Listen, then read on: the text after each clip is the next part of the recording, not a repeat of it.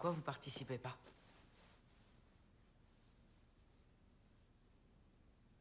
Parce qu'on n'en ressent pas le besoin, Charlie. Voilà tout. Donc si vous le ressentiez, vous iriez tuer quelqu'un ce soir? Je sais que c'est très difficile à concevoir à ton âge. Mais cette nuit, il nous est permis de libérer toute la haine qu'on ressent, la violence et l'agressivité retenues au plus profond de nous-mêmes. Tu comprends? Alors oui, si ta mère et moi en ressentaient ce besoin, on, on y participerait. Parce que ça marche. Tu ne te rappelles pas à quel point c'était terrible avant. La misère, toute cette criminalité.